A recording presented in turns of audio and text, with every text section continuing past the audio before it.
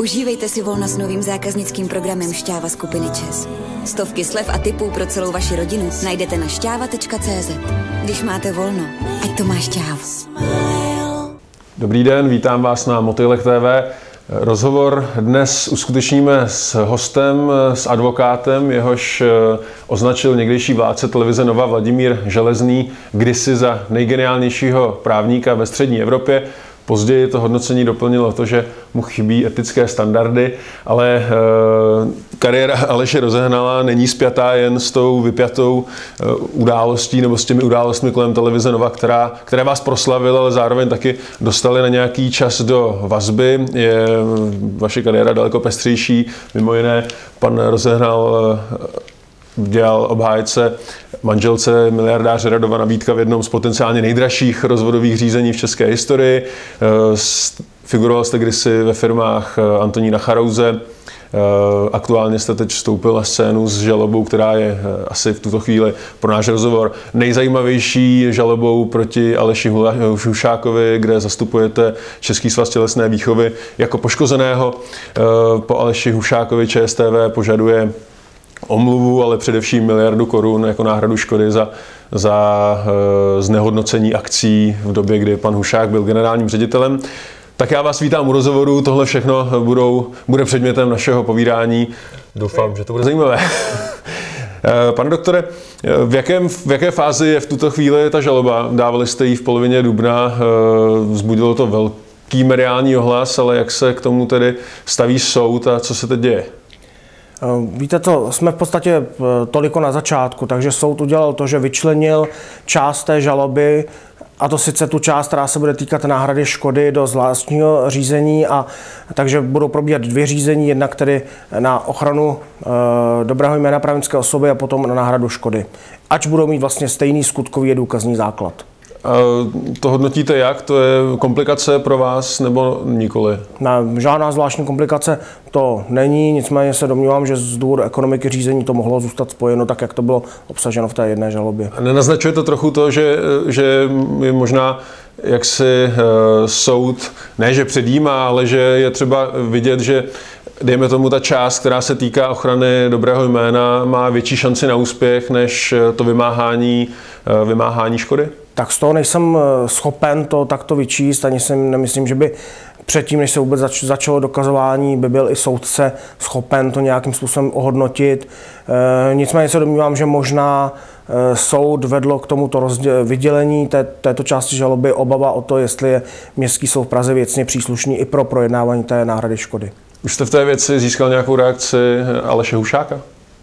Eh, ne, zatím žádnou reakci nemám. Posílali dopis, ale na ten nepřišla z jeho strany odpověď. Ne, pouze mě kontaktovali oprávní zástupce s tím, že proběhlo jednokrát velmi krátké jednání, které nemělo žádný výsledek.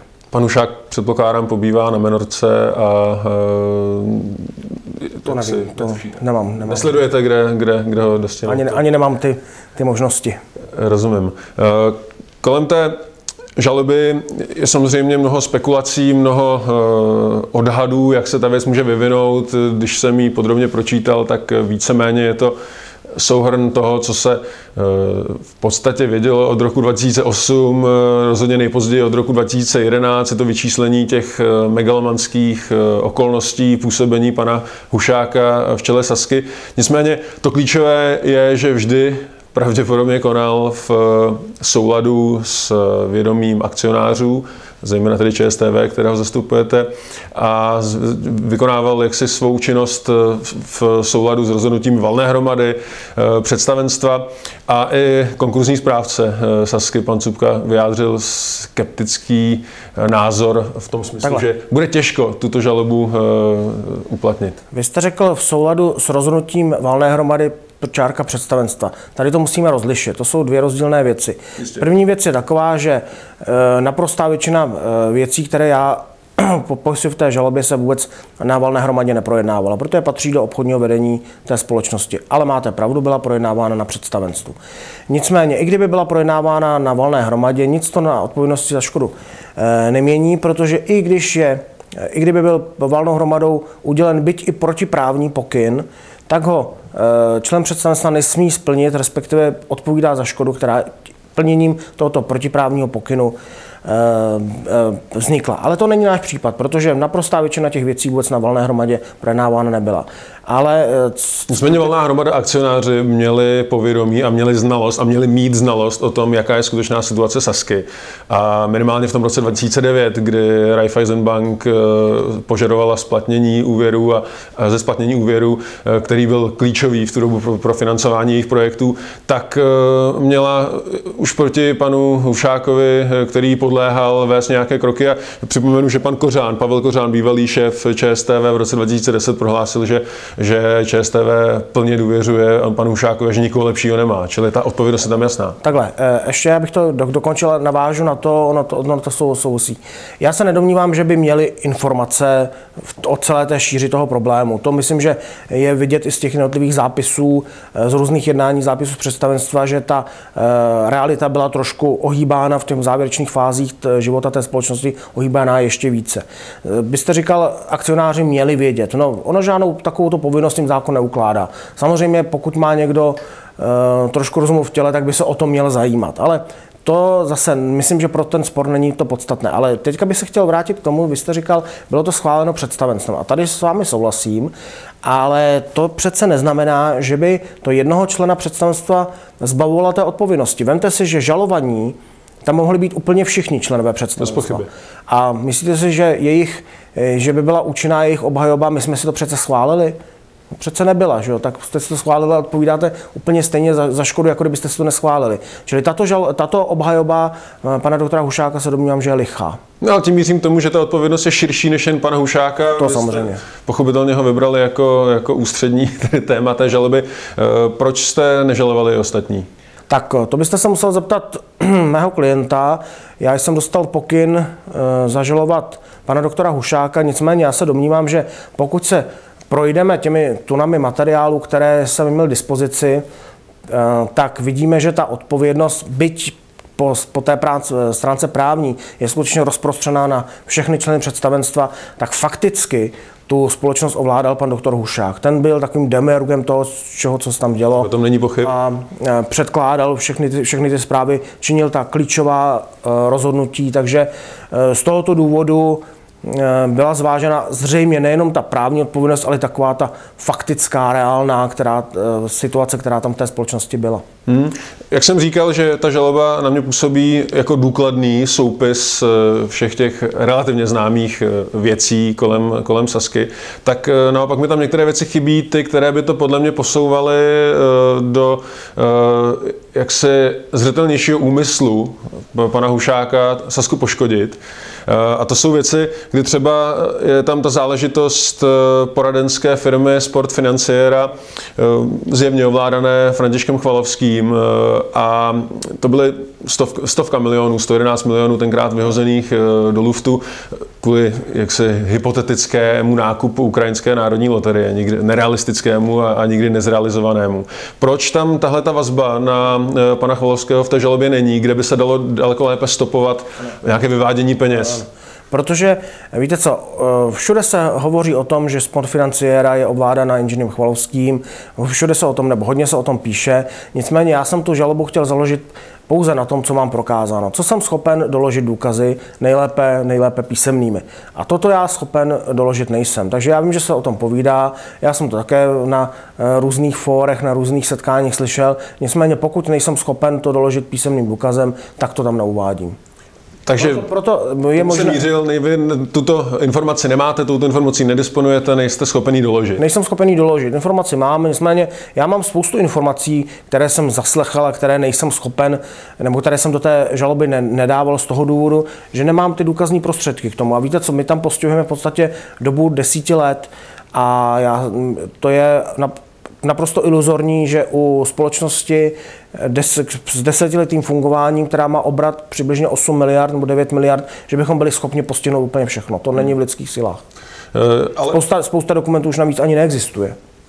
Přesto máte tam něco, na čem jste schopni, schopni se skutečně dobře opřít a, a říci, zde pan Hušák tuneloval Sasku a, a vyváděl peníze e, ve svůj prospěch, když pominu všechny ty nadhodnocené smlouvy, řádně uzavřené s, jaksi s akcionáři, od eh, obrovského platu přes soukromý tryskáč po kuchaře a eh, hrazené výdaje manželky a tak dál, tak něco, co by, já nevím, nákup vinice, eh, kolby, nákup hradu Rapštin, jsou to věci, které třeba máte vystupovány tak, že by Aleš Hušák byl nějakým finálním beneficientem? Ne, tak to nemáme, nicméně domnívám se, že může nastat určitý posun eh, při výpovědích těch eh, statutárních orgánů těch jednotlivých poradenských společností, kteří údajně poskytovali poradenské služby společnosti Saska, aniž by to přineslo jakýkoliv efekt. A tam se vyváděly skutečně desítky milionů eh, bez jakéhokoliv bez jakékoliv kontroly. Jsem zvědav, co nám na to vlastně ty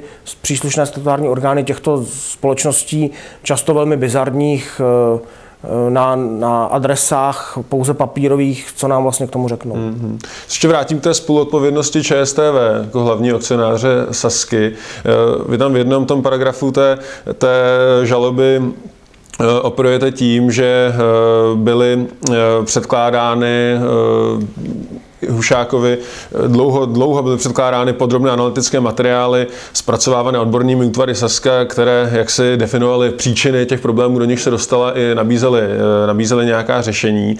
A jako důkazní materiál předkládáte zprávu finanční due diligence z 23. března 2009, což už je všechno poté, post, eh, čili tam je jakoby zjevné, že, že tu spoluodpovědnost ČSTV měl obrovskou a, a proč eh, dnešní předseda ČSTV Miroslav Jansta eh, také jaksi nepožaduje eh, odpovědnost po Pavlu Kořánovi. Takhle, já bych tady rozlišil odpovědnost morální a odpovědnost právní.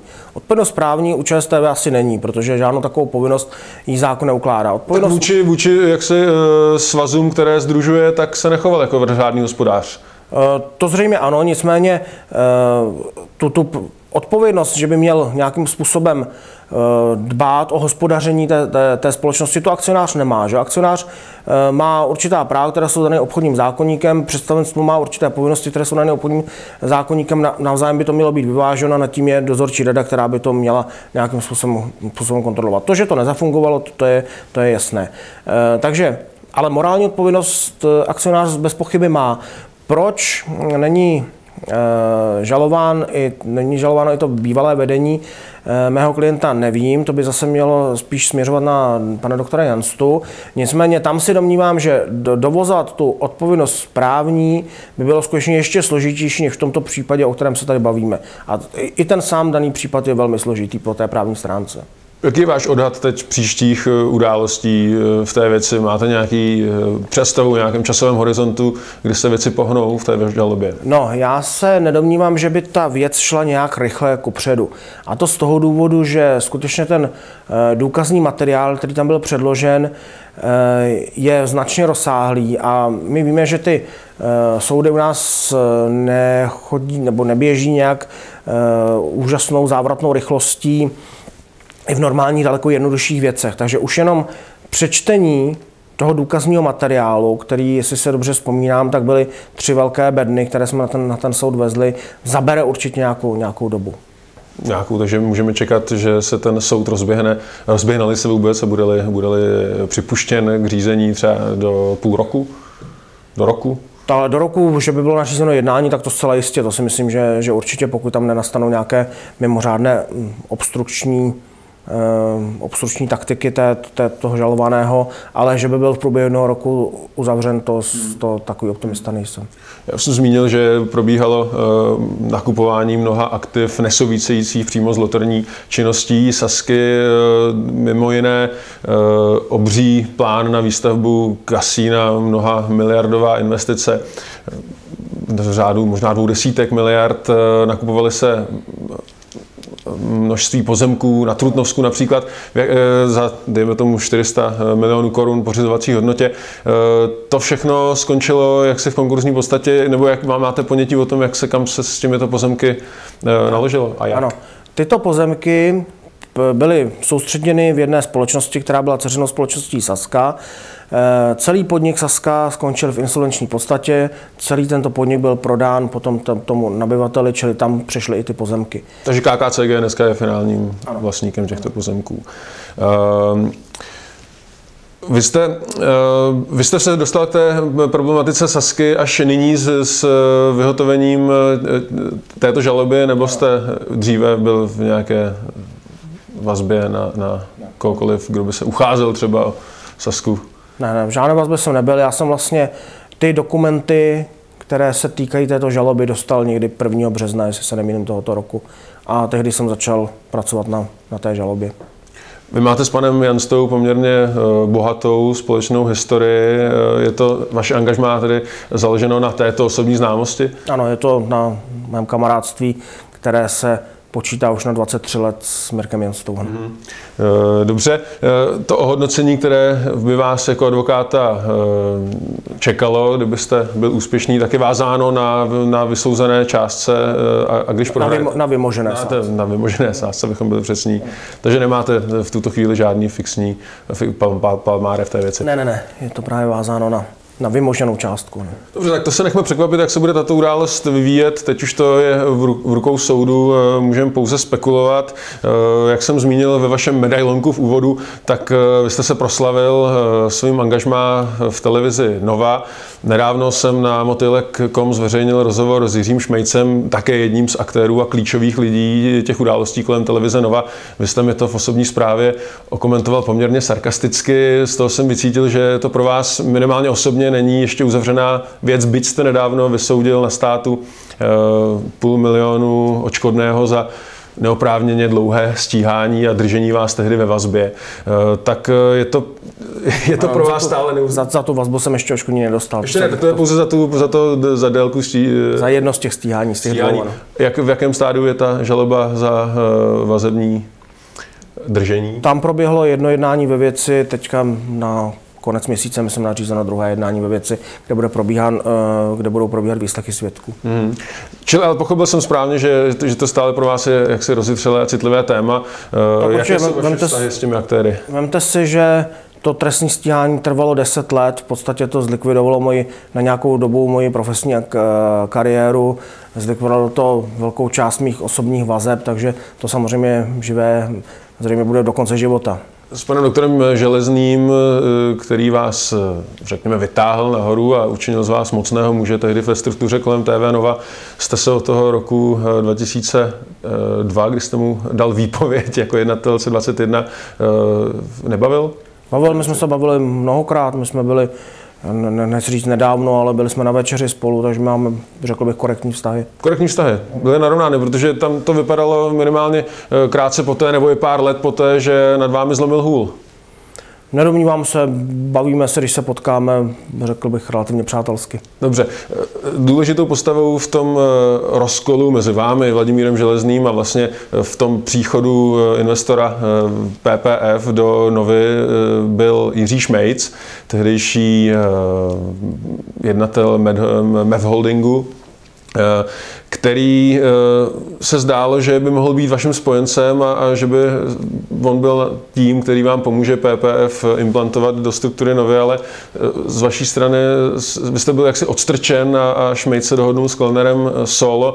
To je ten problém, který mu nemůžete zapomenout. Ne, to, to je, tam já jsem žádnou větší roli v tom, tomto nehrál.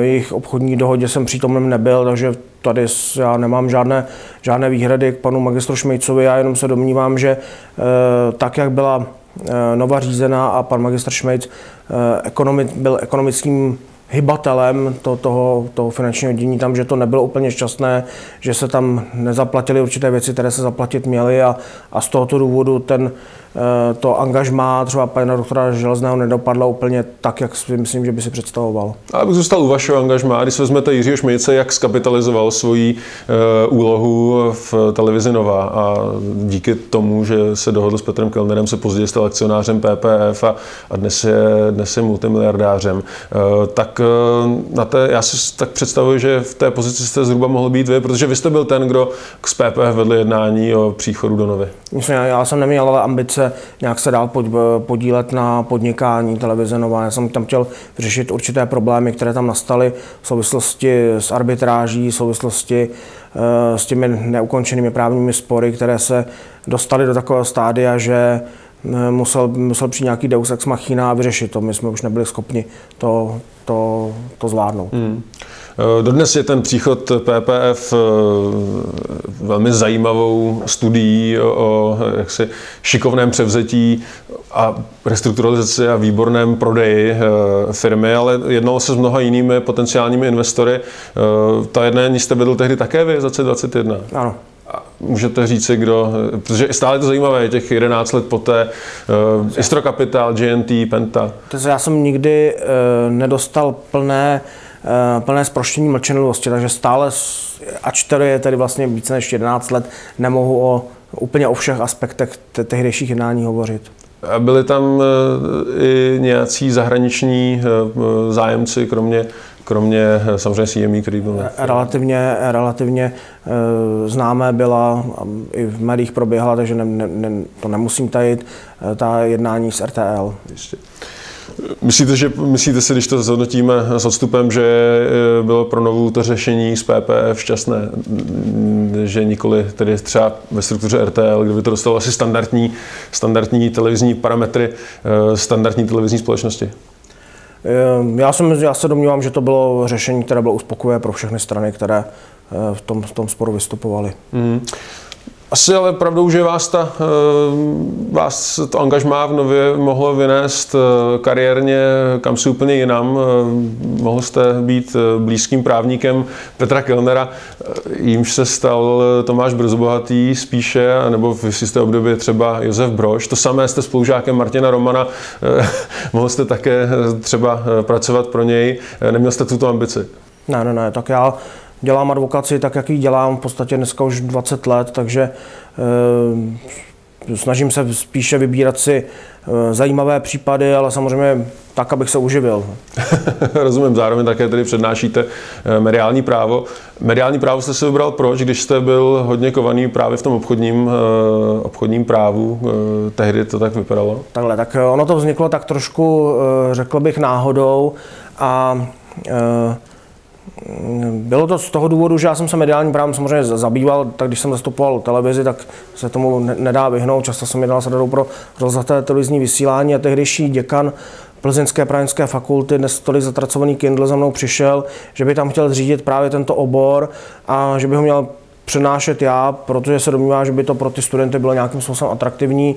To jsem začal někdy v tom roce 2003 pak se Plzeň dostala do těch problémů, do kterých se dostala, takže jsem to začal přenášet v Praze a na fakultě humanitních studií a, a ten obor mi tak nějak, nějak zůstal.